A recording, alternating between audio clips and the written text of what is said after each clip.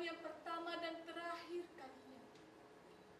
Sangat berat menceritakan sebuah pengakuan semacam ini. Saya tak akan bisa dengan jelas menerangkan mengapa. Tapi saat ini adalah saat yang tepat saya harus mengatakannya.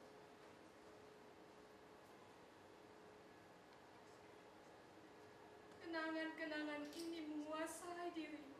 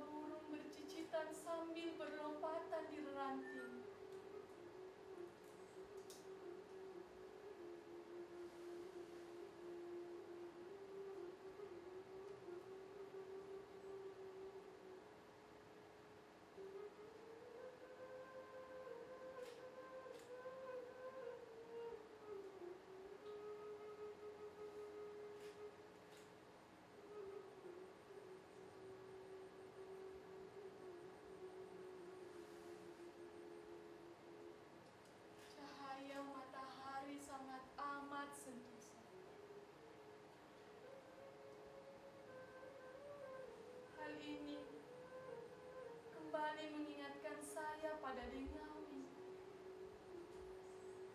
Ketika ia pertama kali menyatakan cinta pada saya.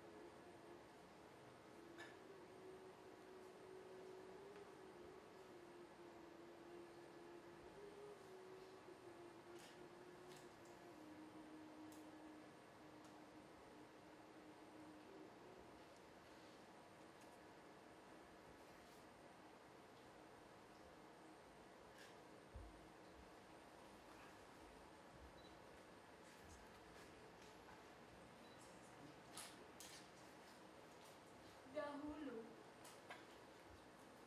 ketika saya pertama kali bertemu dengan Awin, saya masih berumur 17 tahun. Pada saat itu, saya masih senang pakai rok dan bersama anak-anak gadis lainnya. Dan dengan Awin,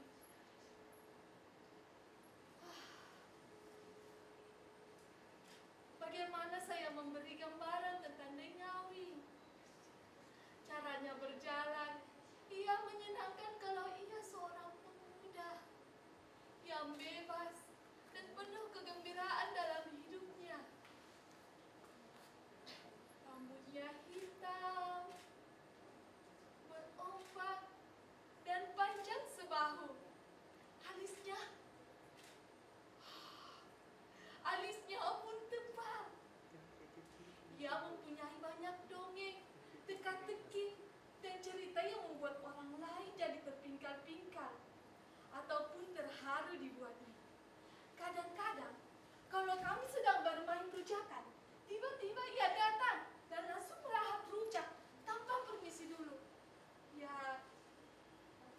kami para gadis ya kami langsung memukulinya.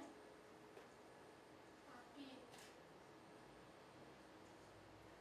dia tak pernah lari kalau saya yang memukulinya. Dia malah menyerahkan diri. Lalu memandangi saya. Mendengar itu, saya langsung jadi malu. Kemudian teman-teman meledek dan menjodoh-jodohkan saya dengan Dengawi. Saya langsung lari masuk ke dalam rumah dan tak keluar lagi. Saya diam di kamar menyenangkan. Bagaimana lucunya Dengawi dan bagaimana menyenangkannya.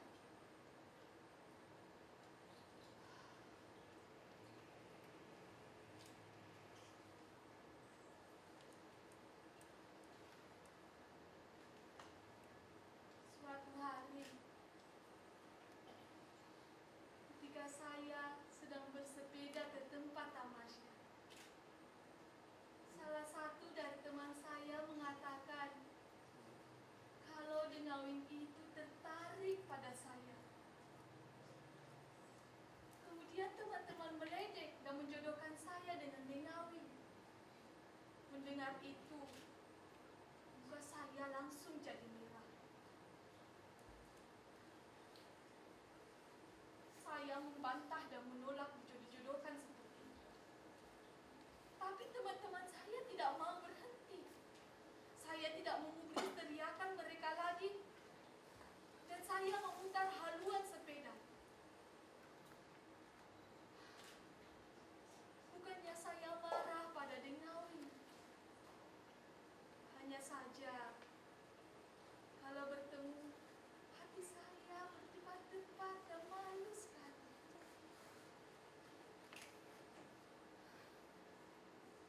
Kalimat saya selalu jadi pendek-pendek. Ya, tidak, entah, dan selalu menunduk. Kemudian Dengawi menanyakan kenapa saya bersikap seperti itu. Saya hanya menjawab. Saya hanya menjawab dengan terdiam.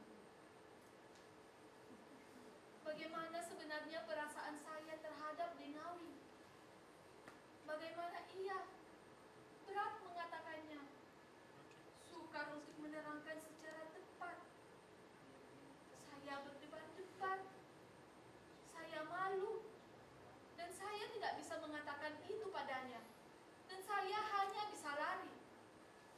Tapi rupa-rupanya Dengawi merasa jengkel pada saya. Ia tidak pernah mendekati saya lagi. Ia bercanda dengan gadis lain. Terutama si Endang. Semua orang tahu kalau si Endang itu menaruh simpati pada Dengawi. Lantas saya memasang muka cemberut. Tapi ia makin malah acu tak acu. Saya merasa jengkel spa- sekali pada Dengawi. Lalu terjadilah ketegangan di antara kami. Ketegangan tanpa kata, tapi hanya kami yang bisa rasakan. Saya merasa jengkel sekali pada Dengawi.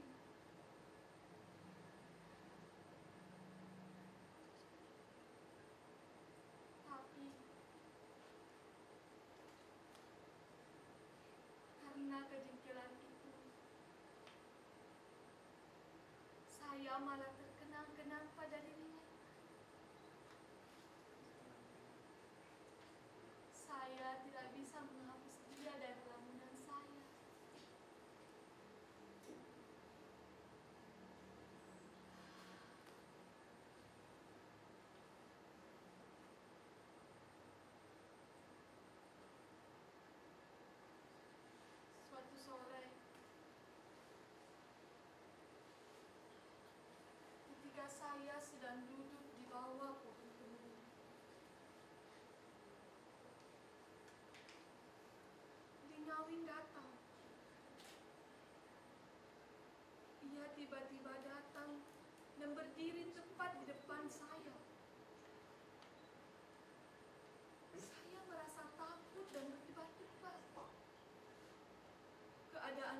Summer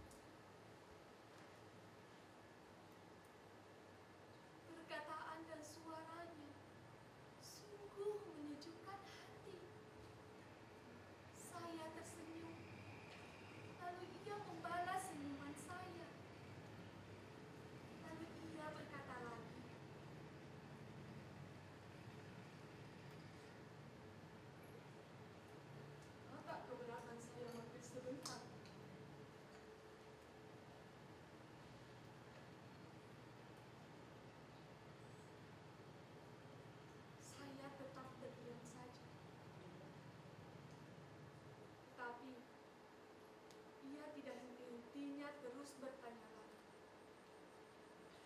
Kemudian, ia berkata lagi,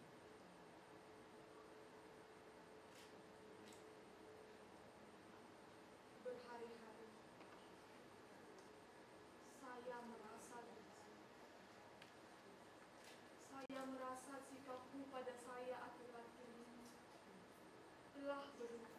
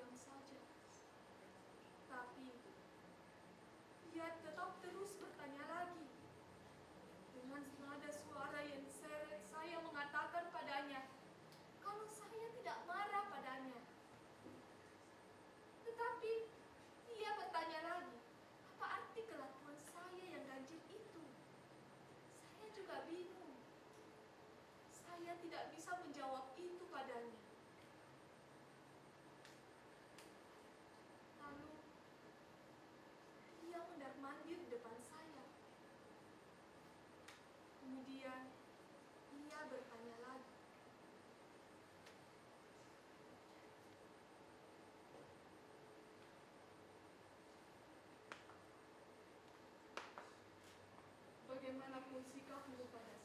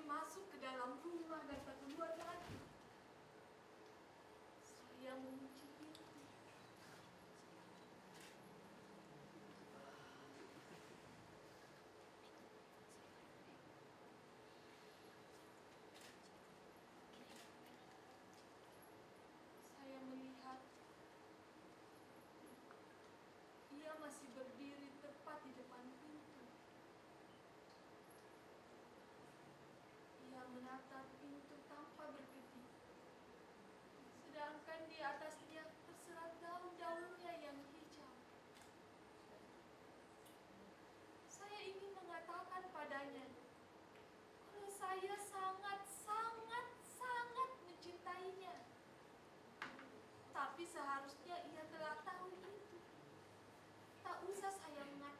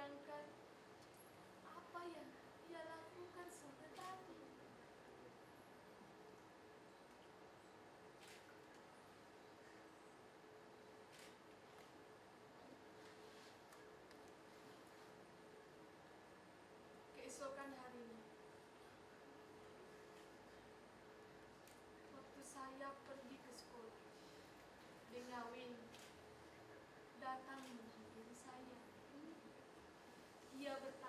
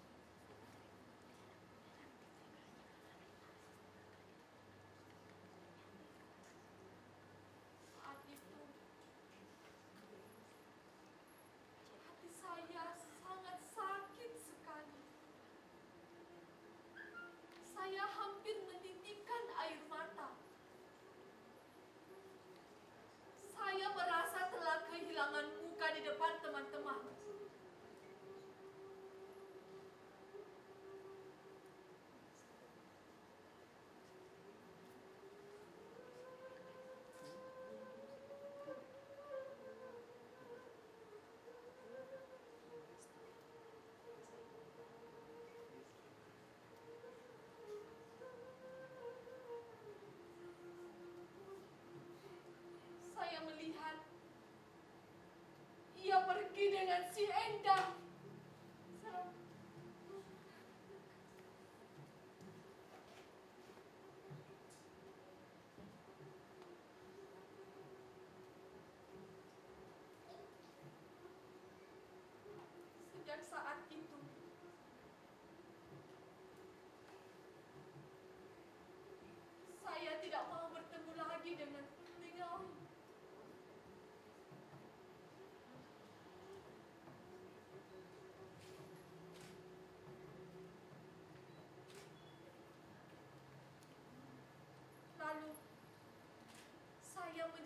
menyerahkan semuanya pada Tuti. Tuti hanya mengatakan kalau semuanya akan baik-baik saja. Tanpa sepengetahuan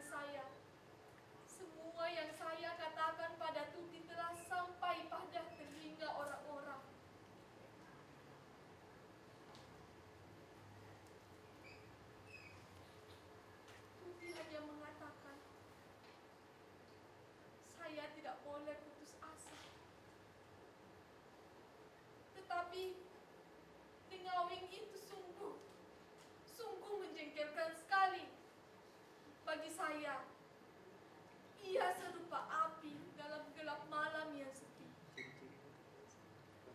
Bila didekati,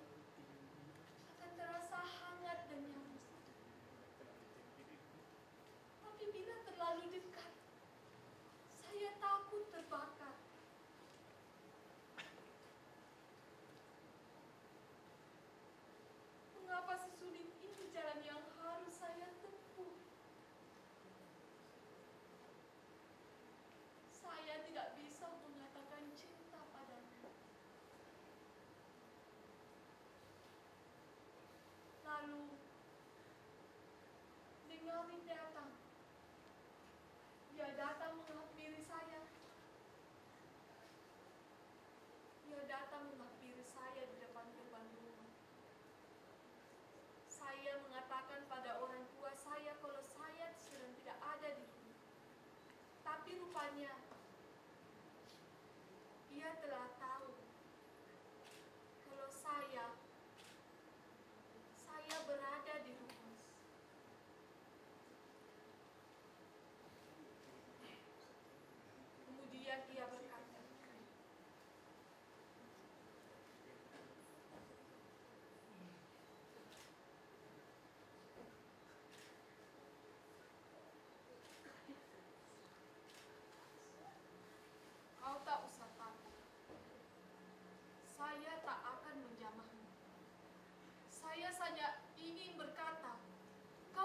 kejam.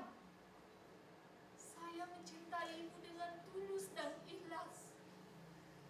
Saya mencintaimu dengan jujur dan terbuka. Tapi kau malah mempermainkan saya. Kau ingin dipuja. Kau beri sedikit harapan, tapi harapan itu cuma palsu. katakan pada teman-teman kalau kau mencintai saya. Tapi kau malah mengatakan yang sebaliknya.